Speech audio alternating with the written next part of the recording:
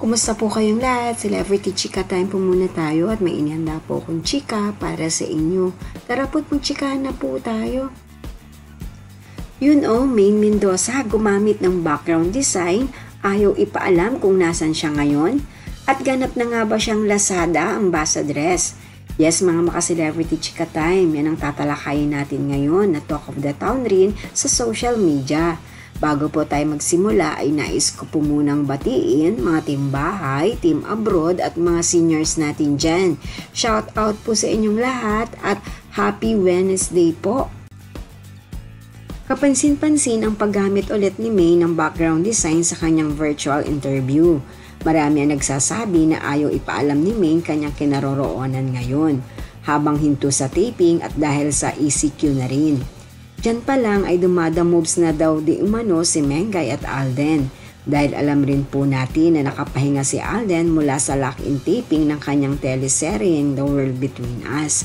At kapag ganyan na naka-background design si Mengay, ay may itinatago ay kinukubli raw ito dahil kung ito ay nasa Bulacan, ay hindi ito gumagamit ng ganyan. Malamang eh nasa kondo o nasa mansyon nila ni Alden. At sa personal blog ni Mengay kahapon ay kanya isinulat na kinakailangan niyang magpahinga ng tatlong linggo dahil sa pananakit ng katawan. Kaya naman ayon sa mga maka-Richard at maka-Aldab, nasa sa isang tirahan lamang sila ni Alden kung kaya't ayaw ipakita o ipaalam ni Mengay kung nasan siya. Malamang pa nga po raw eh, inaalagaan ito ni Alden sa ngayon.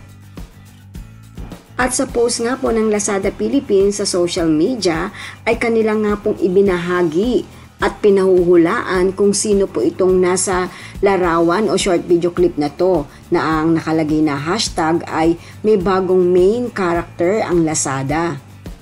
At dahil nga po sa word na main, ay sinasabi ng lahat, lalong-lalo na ng mga followers at supporters ni Mengay, na ito nga po raw ay si Maine. Si Maine ang bagong ambassadress ng Lazada.